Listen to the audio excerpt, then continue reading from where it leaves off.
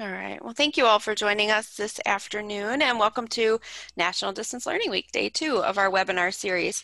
Um, if you are just signing on, if you could just introduce yourself in the chat window, that lets us know where you're tuning in from. And this is the uh, first this week really international uh, session because Phylise is over in Ireland. Um, so uh, your mics are muted as by default, but you can feel free to unmute them and have a conversation, ask questions of Phylise as we go. National Distance Learning Week is something that is celebrated annually, and the idea here is to generate a greater awareness and appreciation for distance learning and also recognize leaders like Phylise and best practices in our field. So Open SUNY aims to showcase this expertise uh, of those professionals who are engaged in this kind of day-to-day -day practice of distance learning. If we haven't met, my name is Erin Meany. I'm the Manager of Communications and Community Engagement at Open SUNY. And on behalf of the Open SUNY team, I want to welcome you to this showcase webinar Today we are pleased to host Phylise Banner from uh, SUNY Polytechnic Institute however, today over in Ireland, sharing uh, highlights from the 28th uh, ICDE World Conference on Online Learning. So thank you for joining us uh, from Dublin. Phylise is a learning experience design consultant with more than 25 years of vision, action, and leadership experience in transformational teaching and learning. She's an Adobe Education Leader, Certified Learning Environment Architect, and an STC Fellow. Phylise, thanks for joining us today. I'll turn it over to you. Thanks so much, Erin, and thanks everybody for coming to uh, to meet now, and also folks who are listening in later. And when Erin first put out the call, I thought, oh, I'd love to do a presentation, and then I realized I was going to be in Dublin, and then I thought, why not just talk about the highlights of of the conference? And I was actually going to broadcast from the conference, but it was so crazy over there that I've come back to my my apartment that um, that I've I'm staying in, which is actually a historical landmark. Um, Marion Muse, you can look it up. The horses are downstairs. The police department has their horses downstairs, uh, and it's it's nice and it's actually nice and quiet. But if you hear something, it's the horses downstairs. It's exciting. So I'm here at the World Conference in Dis- Online Learning, ICDE's World Conference on Online Learning, almost on a fluke I do a lot of, um, I do, I am at SUNY Poly. I am a faculty member there in the uh, Information Technology, Information Design and Technology program, IDT program, master's program. And I'm also currently there working part-time uh, as an instructional designer to do course refresh, working with Rick Shelton and his, his group. And so I also do some work with the folks at Training Magazine, and they have this event called Innovations in Training. And they do innovations in training at the end of conferences, and it turns out they're doing it at the end of this conference. And they asked me if I wanted to come over to, to Dublin. So first it was, do I want to come to Dublin? Absolutely, I want to come to Dublin. But then I saw which conference it was being tacked on, and I um, I know Mark Brown, and and I negotiated my my way in um, and to attend the conference. It was late registration, but uh, but I made it in, and I'm so glad that I did. And when Erin talks about like best practices and practices that we all have in the work that we're doing, think about your own professional development. And I do a lot of presenting at conferences. I do a lot of giving of myself in, in these spaces. And very, I have very little time that I sit in a session or I just have the time to absorb. And so a lot of times the work that we do in instructional design, faculty development, you know, anything you're doing to support a campus in the design, development, delivery, and facilitation and management of online learning, we've got to remember to feed ourselves. And as I'm like feeding myself here in Ireland, not just in the pub, um, I, it just, it's like this incredible breath of fresh air, but my mind's going to explode. but I highly recommend that we, you know, everyone find a way, build your network so that you have opportunities like this one that I've got right now.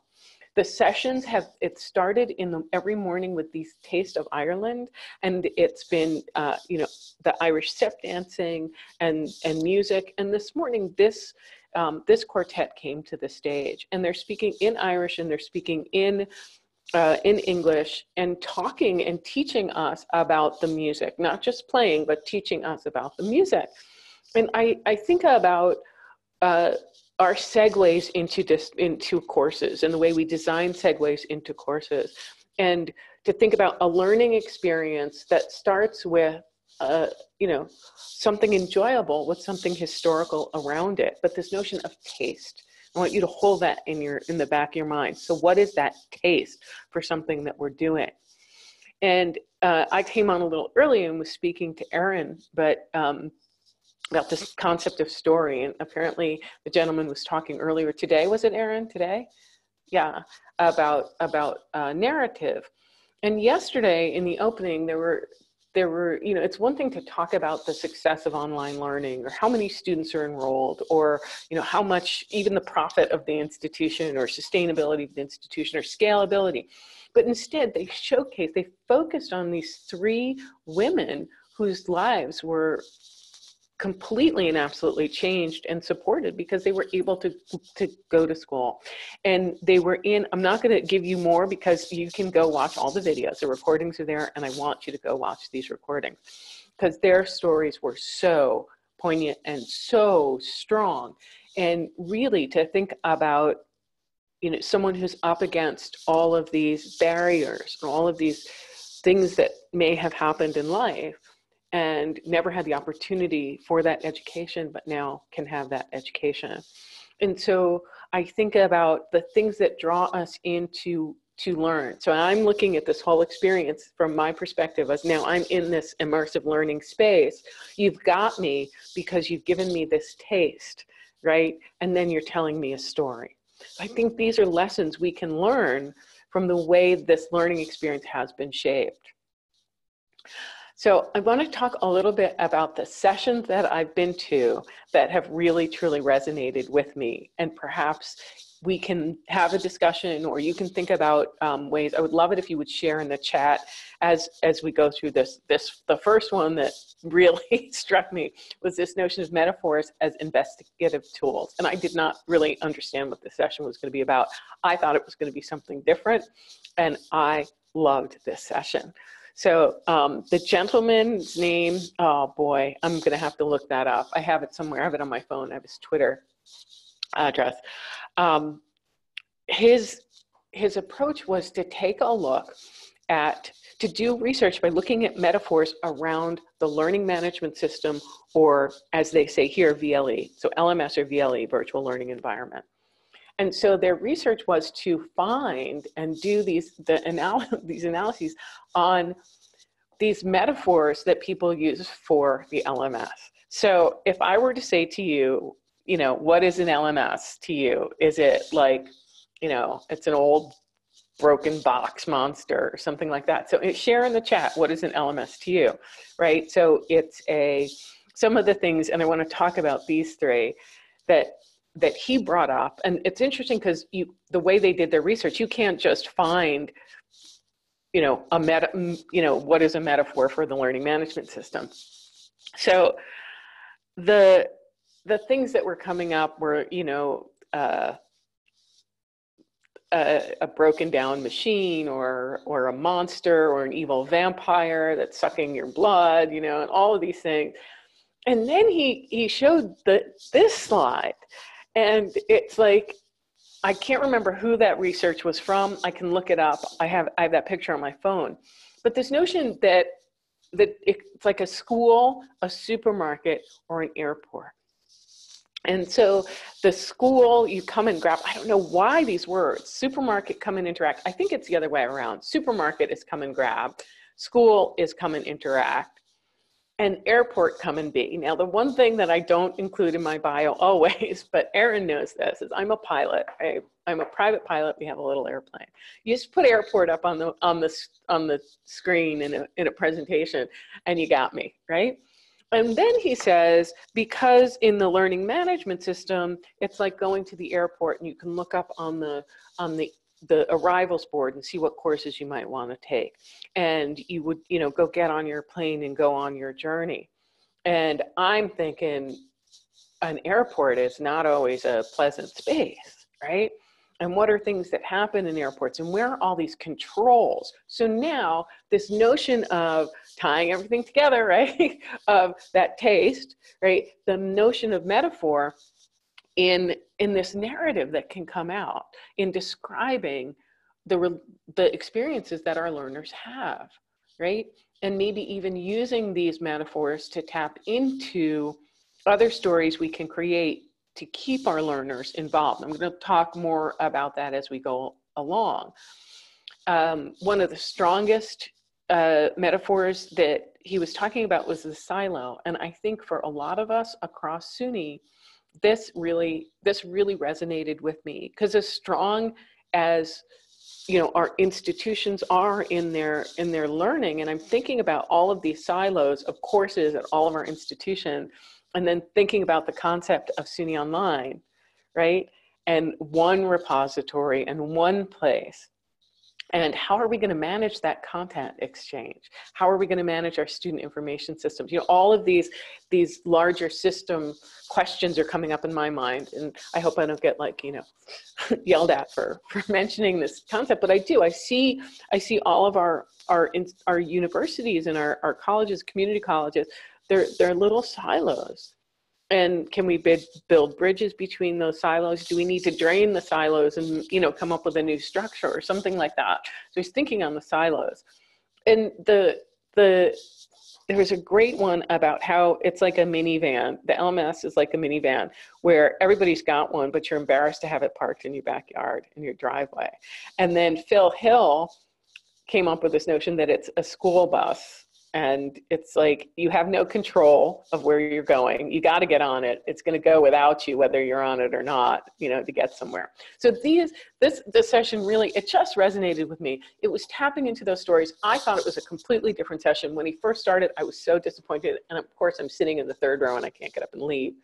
But um, but think about that and think about you know how we could learn more through metaphor possibly so going on, um, what I one of the things that I really love to see is folks from around the world presenting on different topics. So whether it was about learner engagement or about um, uh, even scaling programs or about faculty support, the community of inquiry framework came up from people all around the world. So people from Africa, South Africa, from uh, Malaysia, and of course Canada.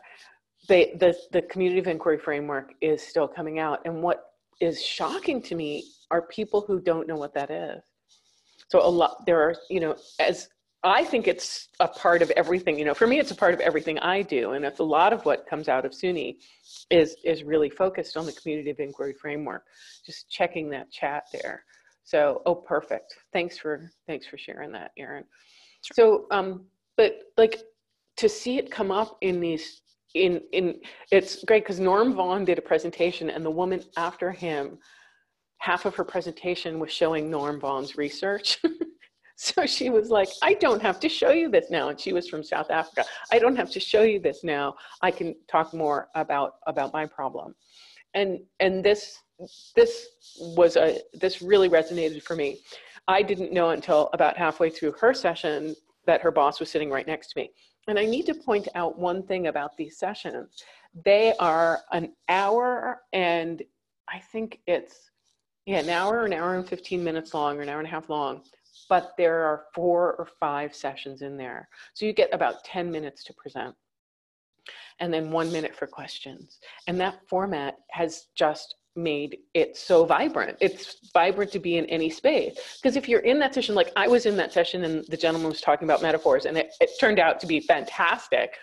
But I was like, oh my God, I'd have to leave it for the whole session. We're an hour and a half. And these smaller chunks of information, I feel like they're modeling what we're doing in our space at this conference. So this woman is talking about the challenges. So she's just presenting on the challenges and hoping that there can be a conversation about around solutions that people could offer. They have um, a very large university. I did not copy down the numbers and I, I, I apologize for that, but there were some numbers that stood out to me.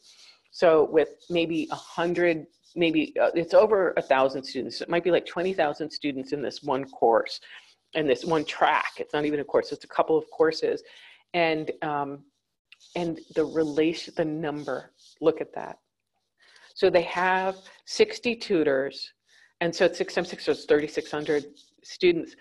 Um, 60 tutors, um, I think, seven faculty serving all of these students, and they were they had the cap at 200 students to one tutor, which I think is high, right? I think 200 to one is high.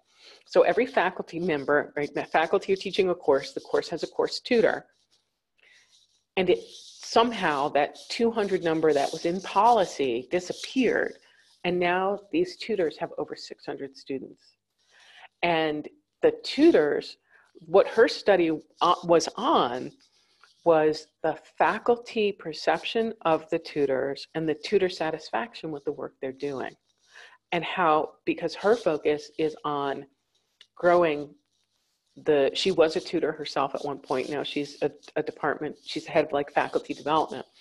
And, um, and it's, it, it's just like to me that's frightening right can you imagine taking care of 600 students and i know whoever one of you is at empire state college right and so you do mentoring there right and so how many students what's your max student come on your here can you unmute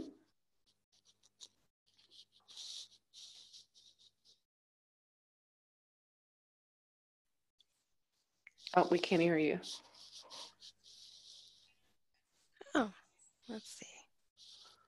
Is there any way we can hear? Well, if we can't hear, go ahead and type how in about, the chat. How about now, Lois? Okay. There we go. Here I am.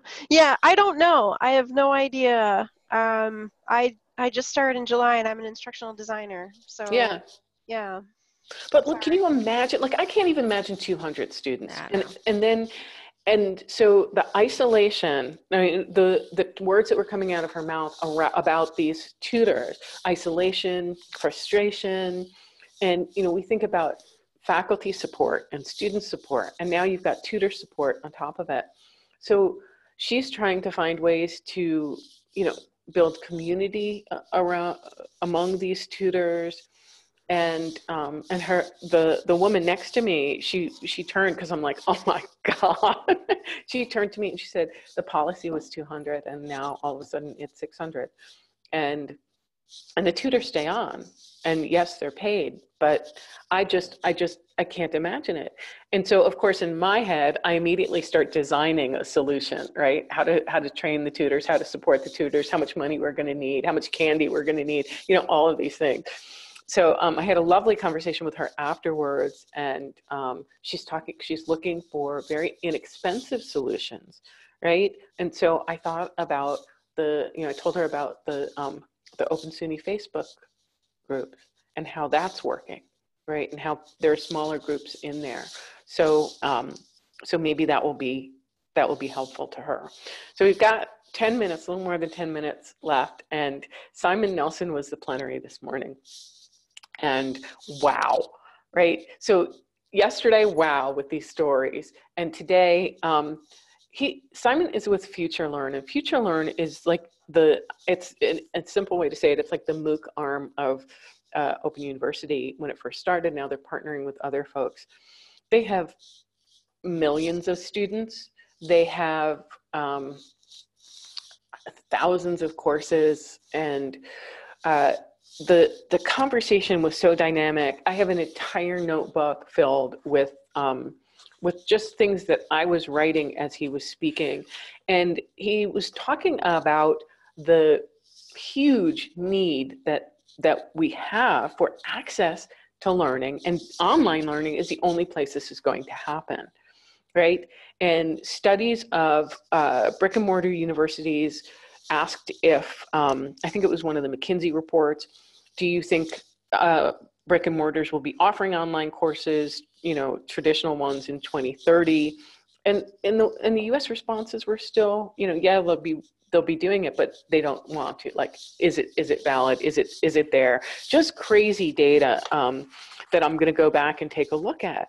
But he talks about the the vast demand for high quality work and the things this is it. What's going to make a difference are the speed that you're able to go in shaping your programs and the boldness that you're willing to employ or embody and I, I, think about that in our space and a lot of us that have, that were there in the very beginning. It was it was about boldness, right? It's what are we willing to do? What what chances are we willing to take and make? And uh, a lot of what he was talking about was this notion of building these pathways of lifelong learning, and that stackable, chunkable courses, and that you're in a short course and then you're in a, a main, you know, a certificate, a small certificate, then a graduate certificate, or a diploma, and then a degree, and sort of building how you build on these with these open courses.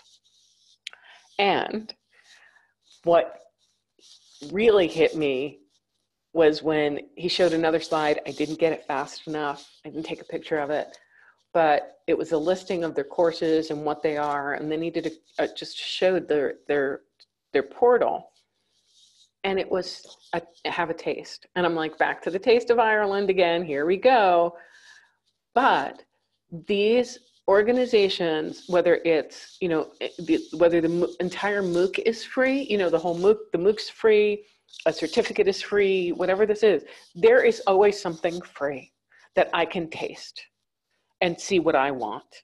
And if you think about working folks who want to take courses, right, or want to do a program, but they're not sure, is it going to be good enough? Am I really interested? Is this where I want to go? What are we giving them for free? What do we give our students for free? When we design a course in a learning management system that's in a silo, right? What are we giving them outside the silo before they get in that they will always have? Ray Schroeder talked about semester without end so many years ago. It's like so that all the that learners once they leave the learning management system will still have something when when they're when they're done. All of this stuff is is really going on in my head. This this notion of uh, of a free taste, and so the next session I went to today, I've got a star next to this because this was just stellar, absolutely stellar. And two young women from, I think, University of Michigan, Upper Michigan, uh, did are doing a study, and they're not they're not done, on care and rigor in online learning. And so um, the first thing was get in a little group, right, in your little row, and define care and define rigor. What is care? What is rigor? And so our group was international, and one of the women was from uh, Brazil. She only, she spoke a little bit of English, very good, you know, very good English, but she didn't couldn't have she didn't have a word for what she was trying to describe. And the word that she said, and I'm going to botch it here, continencia, continencia, is the what she was trying to say. And she kept doing this with her arms for care. And when the presenter said, you know, what did your groups discuss? And I'm like, you got to hear from this one. like, try to explain this. And it's basically a vase. And this notion that we're holding our students, we're caring for our students, but there are boundaries. There's a wall of some sort, and there's support, and there can be beauty in that. But the what happened was, as these two words are up on the screen, probably 90% of the room could define care, but not rigor. And our concepts of rigor, and you know, they they've got the Higher Learning Commission uh, that their uh, accreditation is with, and that rigor is in there and your online courses we've all heard this right? So is your online program as rigorous as your face-to-face program? Or your online courses as rigorous? Or your standards as rigorous? And so what their study has found with the faculty and the students defining and i did have some more slides and i didn't put them up but i am just going to look at them real quick so i can read these out to you because they're very faint. For the students they they did word clouds from their their surveys. Rigor the word the biggest word that came out was assignment. Material class expectations work discussion. And for care questions email feedback responses.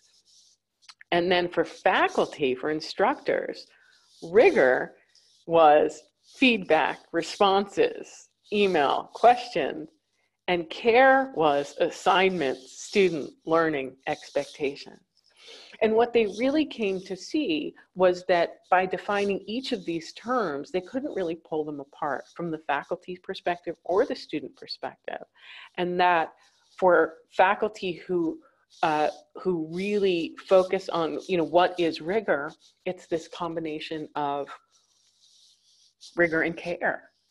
And so how do we care about our students? And when we design working with faculty, I, and this is something, you know, I, I encourage all of you, all of us, I'll do it too, is to ask faculty, how would you define each of these? How do you, how would you define care? How would you define rigor? Or maybe come up with words that, that you would like to explore, going back to that, you know, something as metaphor. But I have a big problem with the term engagement. And we talk about, you know, fostering engagement in the online space. But what does engagement mean? And so uh, talking with Angela Gunder from uh, University of Arizona, she says they use the word engagement because they define the word engagement. So before they even like say we're going to have you know more engagement, what does that mean? And the institution has an acceptable definition for that word. And what if we were to have an acceptable definition of the word rigor? What would that mean and how would we guide faculty? How can we involve faculty in the definition of these, these types of terms, right? Um, so this is all my brain, you guys. this is my brain dump. But this really, really struck a chord with me. Um, and, and as Erin said, it's connecting the brain to the heart. Stories connect the brain to the heart. And that's what the presenter said earlier, right, Erin? And so this is another way to consider what we're doing connecting to the heart and having a passion for teaching and learning, caring for our students and, and blending that, that care and rigor.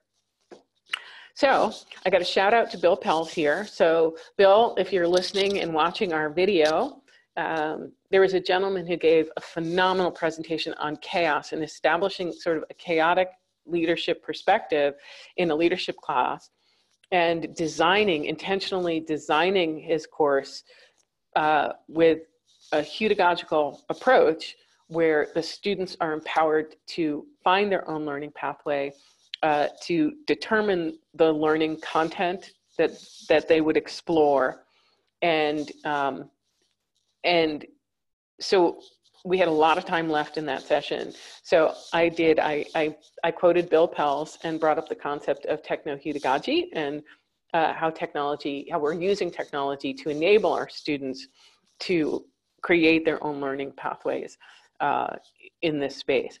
I have to say, uh, his first name was Jason. I don't remember his last name, and I'm not. I, I'm sorry, I'm not giving you everybody's names here, but you can watch recordings online uh, I'm not sure, I don't think the little presentations are, but the big ones. But uh, he had written a paper and he read his paper. And I, you know, I say this all the time. It's like, oh, you're going to go into, sorry about that. You're going to go into a session. Oh, sorry. You're going to go into a session and here are my, the rest of my slides. So where are we? Here we go. So um, I'm, I can't find my PDF here Here we go. Sorry. Give me one second. So um, just thinking about, uh, you know, he's reading his paper, and I have to say, it was brilliant. It was absolutely brilliant. And you know sometimes some of some of us you know me well i can't say me so if you're uncomfortable presenting but you know you can write there's nothing wrong with reading that paper when it's you know it's just so well written and it's sharing. And his whole concepts came out. And and his the it wasn't about research. It wasn't referred to you know pell's chapter 3 it really was his his inspiration and it was it was absolutely beautiful um, and then I talk about opportunity here. I had, I got to present today. So uh, Angela Gunder is a friend of mine. She was presenting on using improv in student development.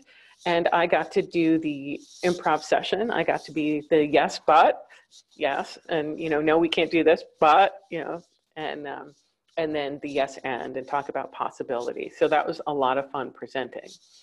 And, um, and then I went through the exhibit hall uh, right before lunch, and I met some really interesting vendors that are doing really cool stuff that I'll explore a little bit more. And the folks were there from uh, one of the catalysts was there, and they they're a Moodle supporter. And I'm thinking, what happened to Moodle? Right? And what's happening with Moodle and what's happening in this LMS space. And um, D2L is here and Canvas and just thinking again about what's happening with our learning management system.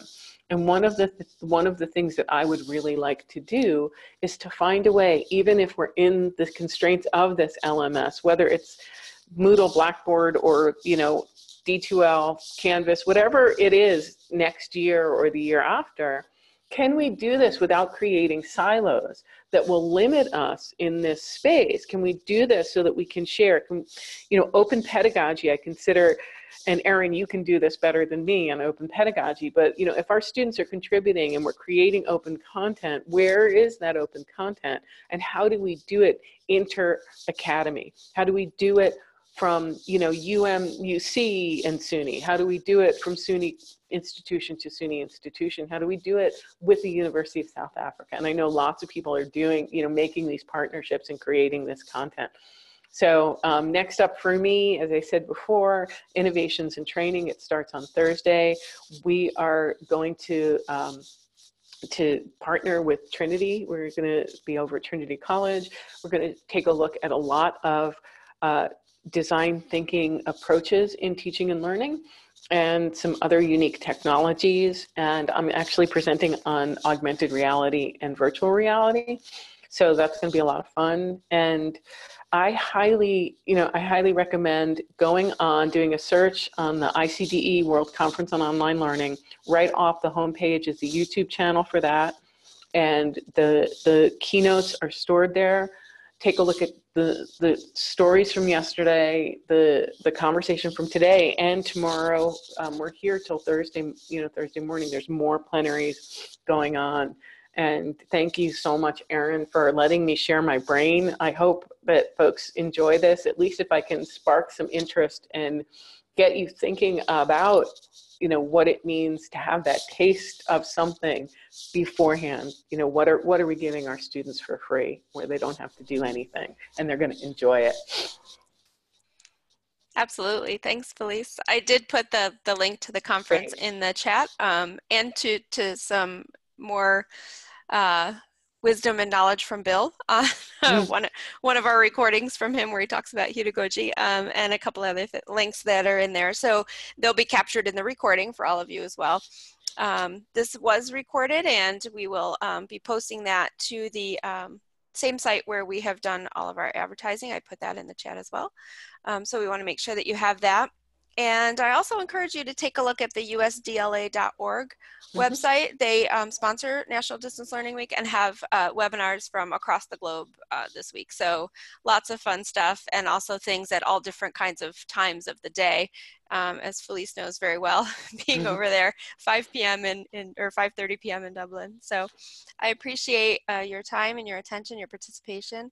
If there are any questions, um, you know, I'll, I'll hold this open for, but I do know because of time, if anybody needs to go, that's totally fine as well. So just to hold Phylise for a moment longer in case there are questions. I did not see anything um, in the chat specifically, but these are great insights and you know, they always spark, any conversation I have with you sparks me thinking about all kinds of things. So I, I love that and I've taken notes well, excellent, excellent. And um, so, yeah, if if I can stay on for another minute or so, some of the things that I'm I'm really looking at now is the notion of uh, liminal space in the online mm-hmm. in online learning, and liminal space in architecture mm-hmm. is is a pass through. So it's a doorway or a door frame. Uh, the, anything, any area that you pass through. Liminality is a concept in in psychology and sociology, uh, you know, it's it's a threshold or or something you pass, a way that you pass through before something happens.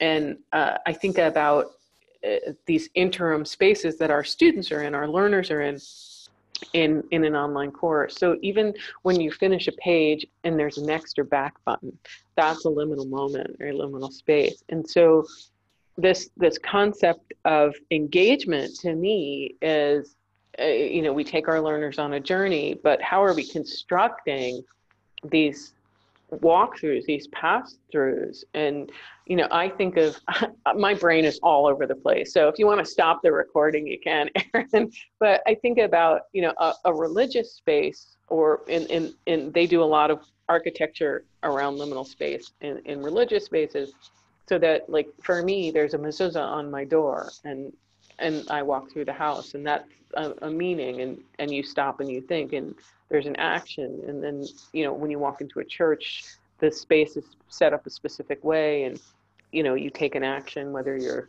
you know think but but religion has does a lot architecturally with liminal space and museums do a lot also